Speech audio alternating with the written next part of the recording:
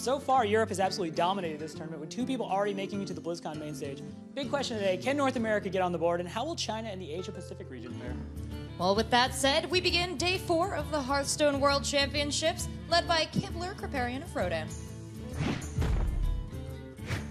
Thank you very much, Rachel and Robert, and greetings from the Casters Decks once again for day number four here at the Hearthstone World Championships. It's time to see who is going to go to the playoffs. Out of the eight remaining players, only four will survive. My name is Frodan. I'm joined by Brian Kibler as well as Kripparrian to my far right. Uh, gentlemen, it's been a wonderful pleasure so far casting with you guys all week long, but today we come to a close for opening week. Uh, what are some of the storylines that are sticking out to you and what you're excited for today, Brian? I mean, we saw, uh, we're going to see Jab play, I believe, in our next match, and he had an incredible comeback yesterday, just like he did against Trump in the Americas Championship, where he was on the ropes, needed to draw that fireball to stay in it, and it was there for him. I, I, I uh, tweeted yesterday, you know, we, we haven't seen Jab and Archmage Antonidas in the same room. Makes Okay. you think. I believe it It's is more than just fireball that was required. His opponent had to leave his minion on the board, giving him the only out, which was the last fireball in the deck, and that's exactly what he got. Yeah, um, and and th th frankly, the same thing happened against Trump. Uh, You know, Trump took a little bit of risky line, just like No Tomorrow did, and in both situations, Jab found the fireball he needed. That's right. Well, we'll see how it ends up going beyond just jab. I mean, everything is a rematch today. Let's take a look at the groups to see what we're exactly what we're talking about. In Group A, we once again, like you see in the bottom half of the bracket, Jab versus Kuno, which you also saw happen the very beginning of the entire tournament as well. Yeah, Jab ended up losing that one at the start. That's correct. So hopefully that's not the indication if you're cheering for USA. And Group B, we also have another rematch, Kranich versus Life Coach once again for the decider spot. Yeah, one thing that's really interesting about Life Coach's lineup, it's very good, I think, uh, against the anti-aggro lineups that players like Thijs and uh, Ostkaka have brought. Uh, but he did fail to beat Kranich the first time. He's going to have a second go at it now. And in Group C, we have a rematch between Hot Form and Neilyo. Uh, this one went. This one went Hot Form's uh, way earlier in the uh, earlier in the tournament, and uh, but it was it was a very close one. I believe it was the first three-two match of the tournament, and uh, it was uh, it was a real back and forth one. That's right. Group D was first placed by Daimeng from China. That's two players from Europe, two from China. Potentially one from APAC as Ping Ping Ho will take on Purple once more. The Shaman God, can he be the second player to advance? And the second Shaman? Yeah, that was a, that was a very another very close match uh, on our on our I believe second day, uh, where uh, purple purple feels like he got a little bit uh, unlucky in his matchup when uh, we were talking to him at dinner the other night. Sure. Uh, and he's hoping that he can get revenge and make his way to BlizzCon. That's right. That freeze mage sticks out to when he played against Ping Ping Ho. Like you know, the fact that the shaman was able to overwhelm him very quickly, uh, using those doom hammers and being able to peck away huge bloodlust turn. That That's was, I think, what really stood out from that particular game was Ping Ping Ho had a 31 point attack with bloodlust that That's really true. put purple on the ropes. Puts anyone on the ropes. But, but most, It most does. classes well, and most people are 31, you're mostly dead, but no, he's playing freeze base, so he actually was just on the ropes. and a little bit of a instead. buffer with the ice barrier. Yeah. Well, maybe we'll see some of that today. I'm really looking forward to it. We're about to get into action started, and to kick things off, we're going to prepare for game number one between Jab versus Kano.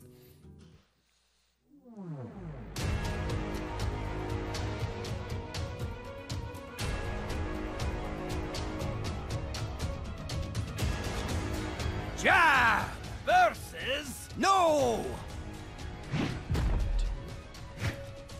All right. Well, the match is about to get underway here.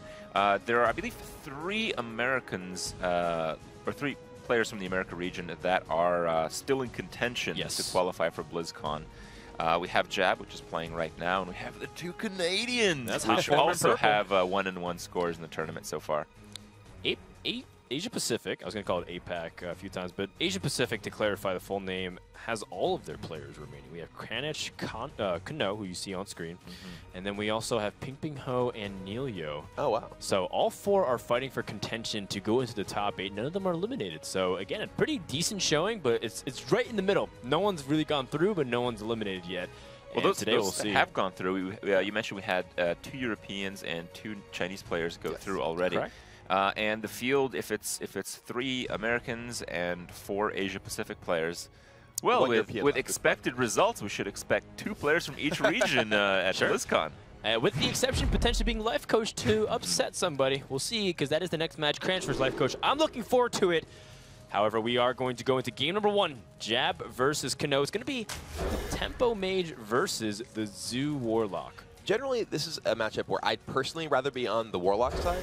Uh, the Tempo Mage deck is very strong at uh, being able to get out ahead of opponents who uh, only have uh, a, a couple of cheap minions they're able to play with removal spells, but the Warlock deck has lots of sticky minions, things like Nerubian Egg, things like Imp Gang Boss, that are very difficult to deal with the Mage's damage-based removal spells. Uh, I also just like being uh, on the side that has Void Caller Mal'Ganis in hand. that's, a, that's a pretty uh, pretty good opening hand for Kano as well. So. Uh, it is. Jab has a reasonable start too. That's one of the things that the mage always looks to uh, to begin with. Some early card draw and board tempo. Um, with the Mana Wyrm, you benefit so much off those spell synergies.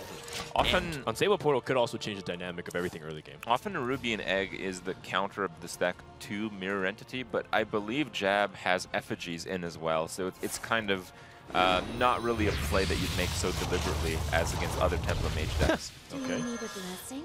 Well, Young Priestess uh, comes down, and you know what? Even though it's only a one-mana minion, it still might make his board more resilient against things like the uh, Implosion. But for now, the power overwhelming draw, wow, off the top. That's a pretty nice pickup for Kano there. It could potentially allow him to remove that Mana Wyrm, which is threatening to get kind of out of hand. Sure. He can play the Imping Yeah. Boss as well to challenge the rest of the board. Um, if uh, Mirror does come down from the Mad Scientist, the, the Void Caller would be a little bit of a bigger body than you otherwise want.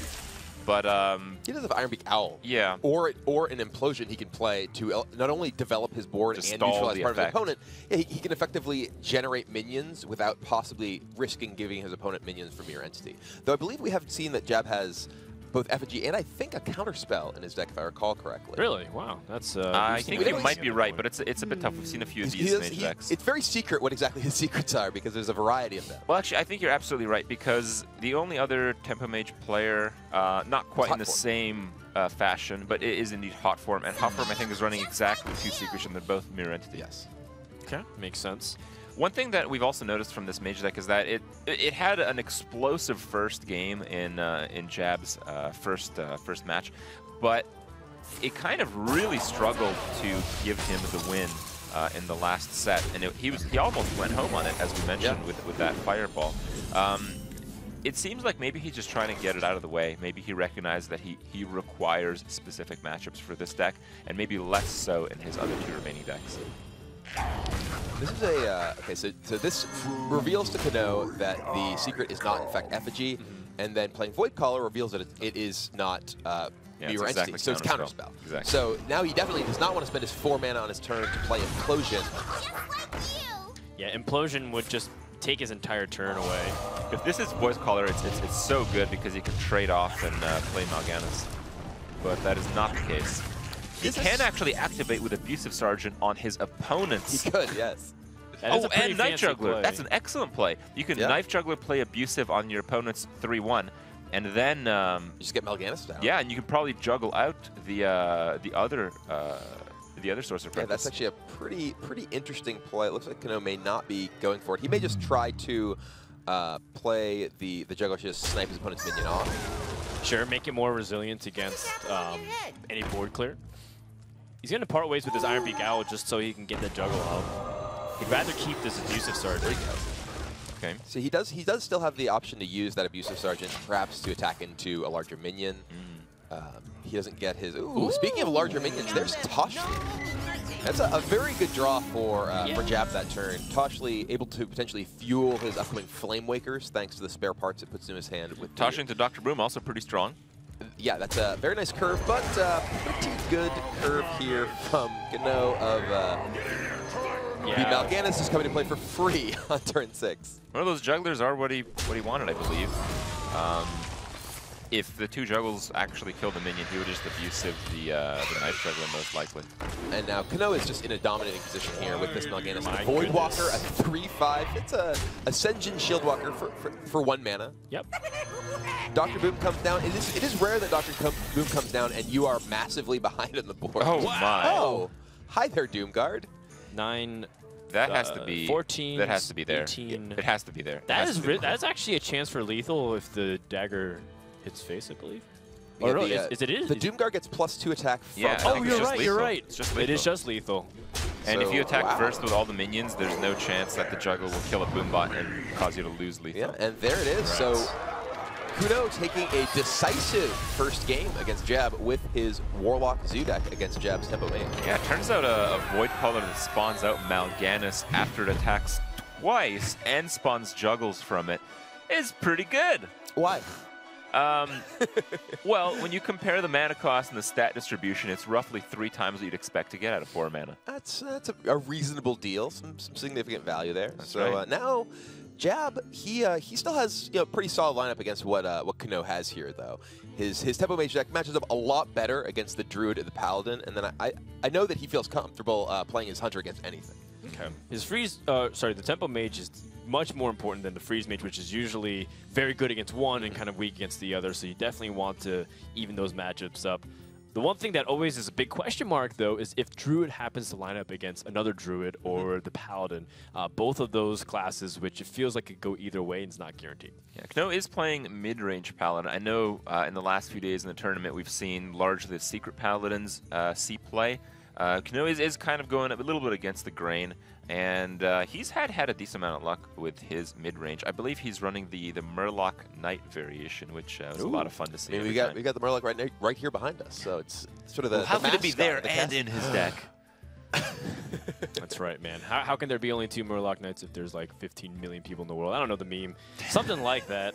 Um, but, I mean, it's, it's, it's a good point. You know, we're not sure exactly how this series will pan out. Even though Game 1 is in the books, a lot could happen. We're going to take a break and get to know No a little bit more. In the meantime, when we come back, game number two between Jab versus Kano. ID の由来は、えー元は、えーとまあ、なキャラクターの名前ですけど、まあ、今はノーレッジの頭文字を取ったということにしています家族や友達は私がハーストーンを、まあ、真面目にやってることは知っていてまあお金が手に入るのでいいんじゃないという感じですね So it's knowledge. That's what his name is. Yeah. But it's Kuno. Or Kuno. I believe it was, her, it was Kuno. Was Who, who who was are you someone- talking about here, right? I believe D2, one of the, the BlizzCon representatives from last year, uh, Yeah, top four lives last in, year. he lives in Japan. Uh, I believe he was uh, he knows uh, Kuno and was saying that, that, that that's how he pronounced That's it. how J- Japanese people say his name. So I if, if we want, if we want it. to So be are, we not, authentic, are we not allowed to do that? Yeah, I mean, you could. You, I mean, it depends on how you want to say names, right? Like you could say it the way the native tongue pronounces it, or you can say it the way, you know, us Westernized Or you people have any number of ways. unfortunately Butcher it, right? Butchered the name, like Los Angeles, right? That's kind of like Yeah. how we actually call that city. Well, uh, I, I asked him about it. I, um, we asked if uh, if no is okay, and he said, "Yeah, it's it's not bad. It, doesn't really doesn't really matter." Are you sure? Or maybe he says no, okay. No, I don't know. Oh, God. But uh, And he's like, well, uh, uh, and he just checkmated you right there. And you're like, well You're- played, You're I hitting can the hard see. lock. Masterful. this totally didn't happen. But anyway, um, he, he basically mentioned that it, it- you know he's he's not too sensitive as some people are with uh, with the name thing. Yeah. Um, but uh, no, as in like the fight with honor. the, the N-O, like the, the no of knowledge kind of how Yeah. we pronounce it. Yeah. He said he, he, doesn't, he doesn't like that too much because it seems like it's uh, uh, Negative? Yeah. Right. It's a bit negative and it's kind of easy to um, to forget. Is that like a hand warmer? He's, he keeps shaking. It looks like it, one of those heat packets. I mean, it is a little chilly sometimes in the tavern. We're in California. We're, we're in a tavern in California, which in the opening line of Hearthstone Client, it says, it's shut the door, it's cold out there. Yeah, we're, tr- we've it's tried to simulate that experience to our It is players. warm in here by the hearth, though. Yeah. We have a we have a actual fire right behind us, which you'll see later Don't on tell screen. the fire marshal. Well, um, we're gonna go with Paladin versus Mage. Uh, this is a matchup really that you were saying to feels that. good, right? Actually, hold on. Like, he, he just coined Frostbolt against the Zombie Chow. Isn't that surprising? Because if, Yeah. if you save the Frostbolt for next turn, you can still hit the Zombie Chow. You gain that life back anyway, but you could do it with a Sorcerer Apprentice, which means you could choose either the Zombie Chow Hmm. or his play on turn two. So it feels like you gain flexibility at no price. Isn't that a bit weird? It, it is um, unusual to see a coin Frostbolt Zombie Chow. I think his thinking was he doesn't want to pass turn one because if he put out the uh, Wanted. This also so Mad Scientist, they get traded pretty easily. It also allows him to play the mad scientist on turn two instead of being committed. Oh dear! What? Hold there. He's actually he's actually not far from uh, infinite fireballs. He has the two Oh, sources you're of right. and the echo of Medivh. Oh my god! Now he just needs Antonidas And, um, and a lot of mana to actually cast this and keep them on play. even more Sorcerer's Apprentices. 'cause well, he you get all needs to- four of them. Yeah. Yeah. That's ridiculous. Counter All right. Well, uh, True Silver does a very good job of clearing out the seemingly powerful Spell Slinger. Uh, now Jab is, is kind of struggling a lot. Uh, it feels like it might be a turn where you just concede a minion to the second charge of True Silver Sure. and just concede the fact that you might still be behind at the end of this. to do? I, mean, I, I can imagine it, seeing him do? play perhaps a Sorcerer's Apprentice and pinging off the uh, the owl there. He doesn't want to play Flame Waker because that is one of his key minions in this matchup, and uh, it would die to the True Silver champion. So Well, this might be a Flame Waker play with if he's playing the Mana Wyrm, if he's reaching for the I would imagine he plays Mana. If he, he played Mana Wyrm Ping instead of Sorcerer's Apprentice Ping, because Sorcerer's Apprentice playing the two Sorcerer's Apprentice in a single turn can give him multi-mana discounts on spells, though. So it's possible that he'd. Rather potentially sacrifice the Mana Wyrm. Runs out on me. That's a good point. The Mana Wyrm is also something that it, it needs a lot of um, immediate synergy to like impact it a lot. Otherwise, it just becomes a very vanilla minion. He has uh, set up a counter spell for that Demon Heart that uh, that Kuno has. Yeah, Yeah. He's, he's assured that there is a spell in No's hand. Demon Heart's a very interesting card because you can use it on friendly demons, but only Warlock is the class that gets demon. I don't believe there's a neutral demon in this There set. is a neutral demon. It is the. Uh, oh, um, Illidan. there is Illidan, and there's also um, Imp Master. The imps are demons. Oh yes. The imps that come off oh, the three mana card that damages itself Yes. to spawn. In. Really? That's fascinating. I did not know that. Well, I That's uh, today. I- it makes sense. It makes sense now that you think about it. It's like Mhm. Imp Master, but um, wow, Crit. Nice job. Why didn't you win Jeoparino? Because it's hard to remember things when it counts. That's right. Jab, I, I think Jab may be uh, ca- caught in the allure of this Sorcerer's Apprentice, Sorcerer's Apprentice echo here. He's he's doing a lot to, to not play one of these. He does play the, the Mirror Entity. I guess he goes with the ping here and can clear much of his opponent's board. I would be I would be caught up in the allure of the possibility You'd- of getting all these. you'd really, you played. really need to get that ping though. I mean, Yeah. uh, get picking off a two-one creature is just such a power play. Yeah, and this, although It this, is, uh, Kuno is able to play his Murloc Knight into the Mirror Entity with that True Silver charge back. So he's able to still kill He has Murloc he has to attack it first because if if he gets like a, a, A War Leader? War Yeah. It actually buffs it out of range. That's really good observation, and the sequencing is perfect. Sil uh, Siltfin Spiritwalker, pretty powerful Murloc, the highest cost Murloc that you can actually get off of. Oh Murloc man, Knight. what are we playing now? The dream. Combo! Although he needs to He needs to have duplicate. survive. He needs for a lot of things to He needs he needs to duplicate uh, those sorcerer He doesn't have he needs duplicate. four. What what he really needs, I think, is like a spell slinger into a frost nova, just to shut out his uh, two sorcerer friends from dying from the previous turn. Right, well, he is getting the Echo off from the Spell Slinger. I mean, He's it is still- value. Yeah. but now like the Murlocs Oh, are just dear. gonna rampage out of control. Oh, yeah. Now that he has also Quartermaster in hand. Yeah, so Kuno can uh, just use his hero power, make a Murloc, make him a uh, Silverhand Recruit. Yeah. Oh, dear. Wow. Kuno, that's what I call Yeah. value. He raises his hands. He's like, "Well, what do you want me to do?" All right, well, I guess, I guess I have it all. Is there a secret up right now? Is there, Uh, there There is. It's, is- it's the counter spell, and Okay. Kuno has just played nothing but minions each Right. turn since then. And this is this is a very difficult board for Jab to come back from. Even if he had something like a Flame Strike, which I don't believe we've seen played in his deck. Yeah, wow, wow. he just concedes on the spot. So Kuno off to a decisive two-game lead against Jab here. Jab is one game away from going home. As much as I really love players bringing these like wild, in some cases they may not be experimental because they've had good results in the past, but they certainly look experimental to The me. tempo mages. Right, Well, right. I mean, this is a deck that Jab has actually had a lot of success with in the recent past. Mhm. He played it in a, a, a large tournament uh, in California the weekend before the America's Championship Yeah. at the Esports Arena. He played it at the America's Championship where he made the top 4 Mm-hmm. So this is a deck that, that, that Jab knows very well and has had a lot of success with, uh, and it's done very very consistent for him up to this Just- point. yeah, just not in the very recent past here at uh, the BlizzCon qualifier tournament. Um, it's, I mean, it, the, the opening game was so crushing. I was rooting for the deck. I mean, I'm still rooting for the deck because I love the fact that players are bringing such crazy creations to Mm-hmm. the table. Um, but on on the other hand, uh, I think yesterday it went like uh, two and one, and right now it's zero and two. So Yeah, uh, you're right. It's struggling. One and four Yep. over the last two days so far.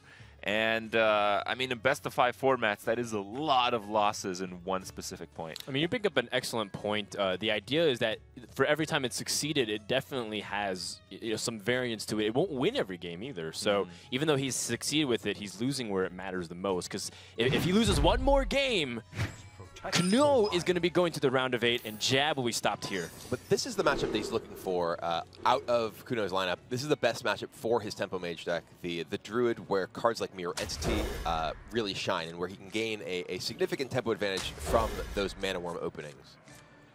All right. Well, uh, No has the Innervate, which uh, is pretty effective. He also has the Darnassus, but he's he's unable to really play anything here, and he's going to have to make some tough decisions um, if he wants to Innervate a Shredder or play the Darnassus. And Jab's hand is only okay here. He's drawn two of his secrets, which are really cards that you want to get off of your Mirror Entities. Uh, they don't. You don't really want to pay the full uh, the full retail price of three mana for them.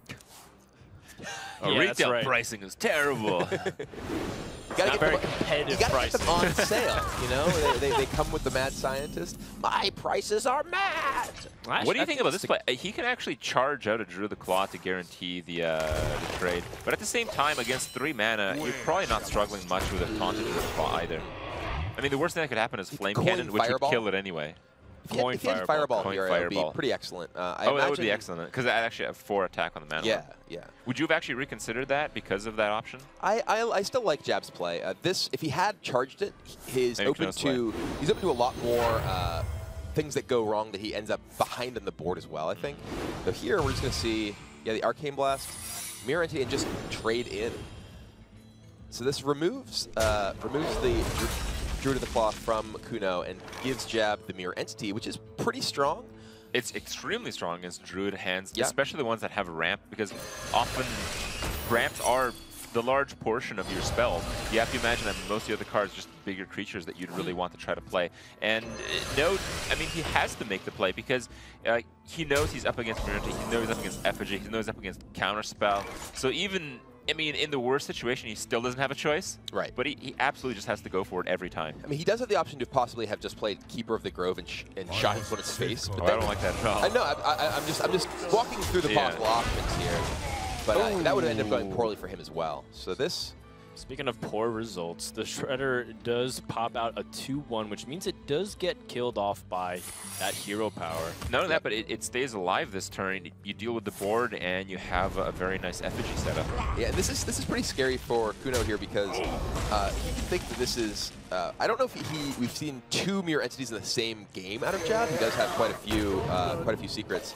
So here Kuno can actually just play the Azure Drake into the secret.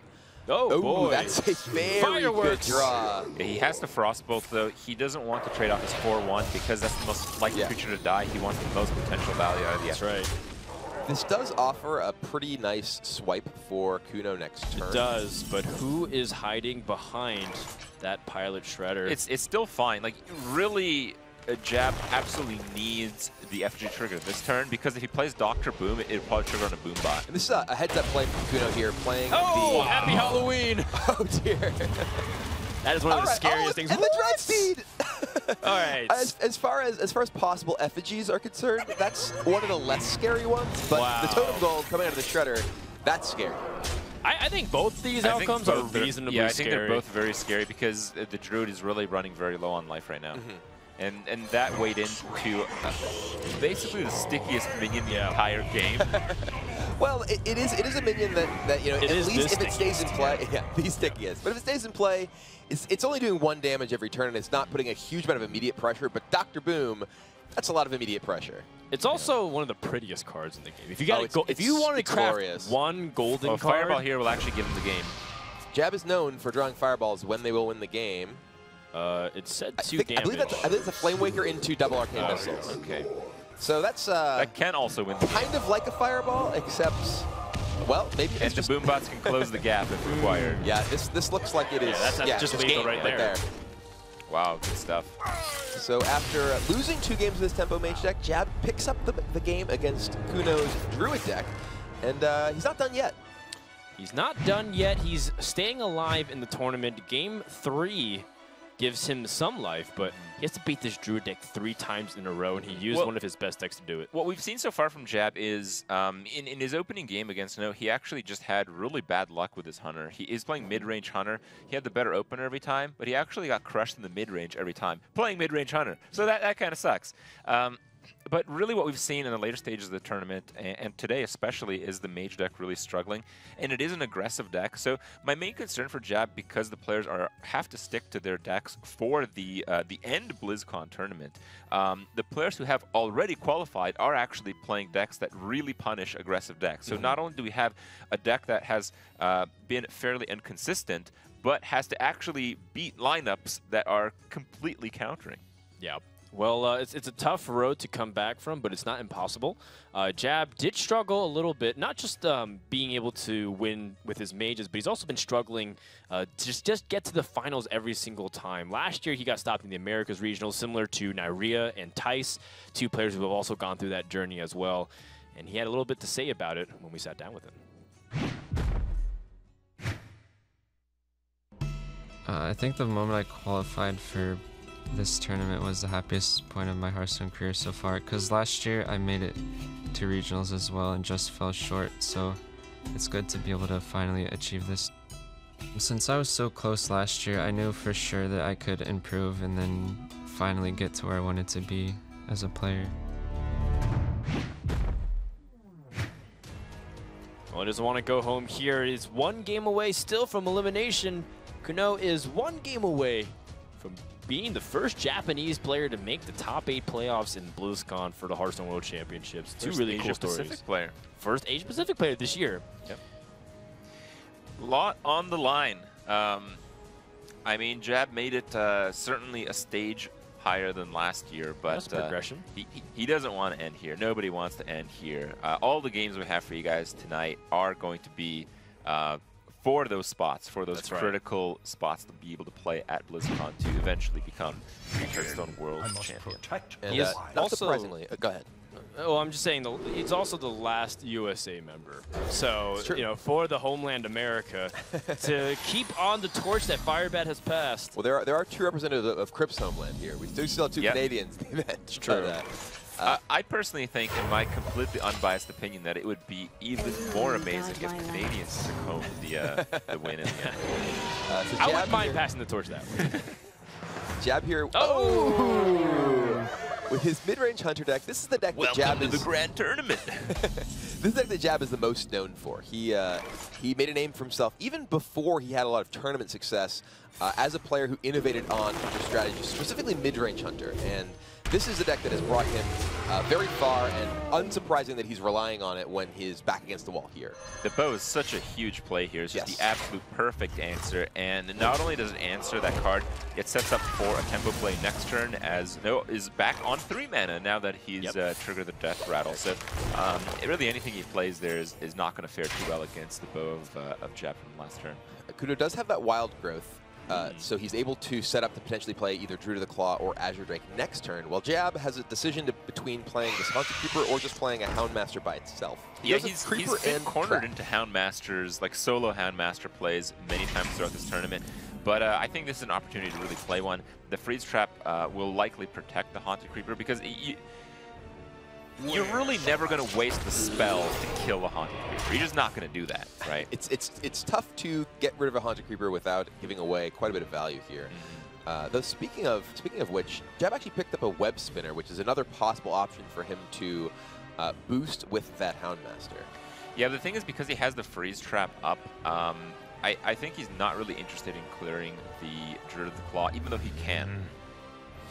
Maybe. I mean, he, he has the option to potentially uh, attack with his bow, boost his spider, clear off the druid, and play the web spinner, leaving himself with a uh, reasonable amount of stuff on board. His, that board would be very vulnerable to swipe, however. Yes. Yeah, but Swipe would take the entire turn.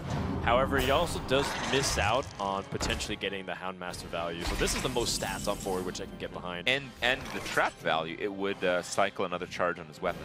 This does does give Kuno an excellent opportunity to use Keep of the Grove to silence that minion. yeah. Uh, and now the Wrath will take out the Houndmaster. leaving Super value. Yeah, leaving Jab without the ability to easily clear off this Druid of the Claw. He well, does. the ooh, kill command is still pretty useful here. it is. He can use Kill Command in, in one of his minions to clear off the Druid. That does allow Kuno to return his Keeper with that Freezing Trap the next turn, however. Um. Oh well.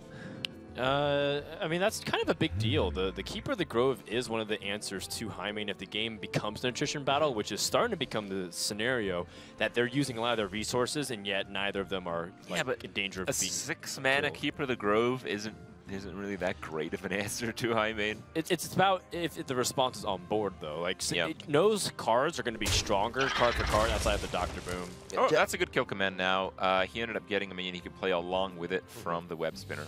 Yeah, this does make his turn significantly stronger because previously he was in a position where he would be forced to essentially just cast Kill Command and do nothing else. But getting the, the Raptor off of Web Spinner gives him a little bit of uh, a little bit of additional value here. Yeah, I think here, even though um, you know, we'll be able to replay the uh, Keeper of the Grove after a freeze trap, that just makes it so uh, you get a clean Doctor Boom, and you, you're you're totally into that one.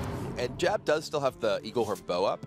Uh, Eagle Horn Bow gains an additional charge anytime the uh, one of your traps is triggered. So uh, here, Kno does have the opportunity to return his Keeper with the Freezing Trap, but he doesn't want to give Jab an extra charge. I think also because he has Force of Nature, which can activate that, and then he can use his Keeper to stay on board and have better combat. I Um, really like the double trade here. Double trade and playing the Doctor Boom is very strong. It looks like he is deciding to use his bow charge, however. I think he may he may recognize that That's Kno. not, it's not going to happen. yeah, that he He's may not getting recognize that that, extra charge. Well, or, or even that the the pace of this game is such that the extra charge is less important than having the additional minion on the board. Okay.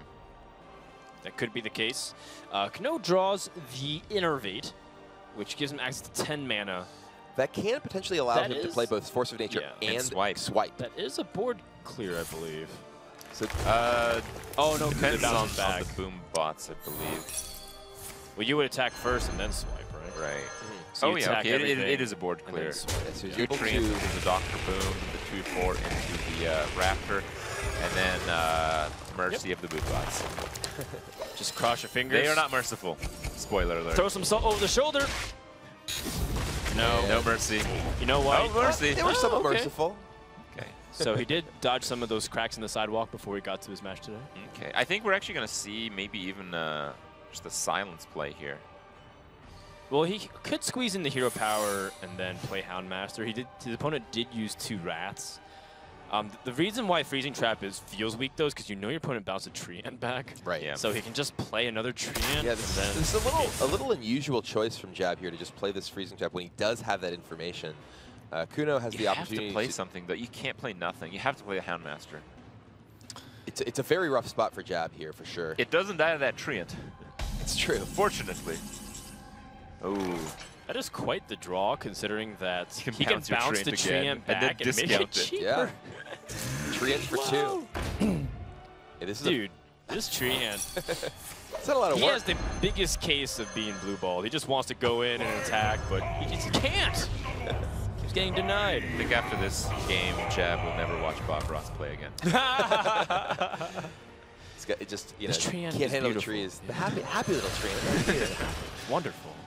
No mistakes. No misplays. Just happy treants. Oh, God. No is counting, by the way, in case uh, he might have some ability to close out the game with two uh, two chargers in hand. That yeah, makes it's not, it's Savage Roar not really quite there.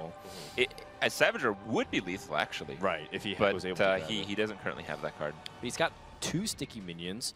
One good shredder deserves two others. Yeah, 22 life, you're really not afraid. yeah. Um, I mean, you might be a little bit afraid because your opponent played nothing with three cards in hand. You know there's some bad things headed your way, but um, playing the double shredder makes it a, a situation where it's almost impossible your opponent will be able to prevent prevent them from Yes. doing anything next turn.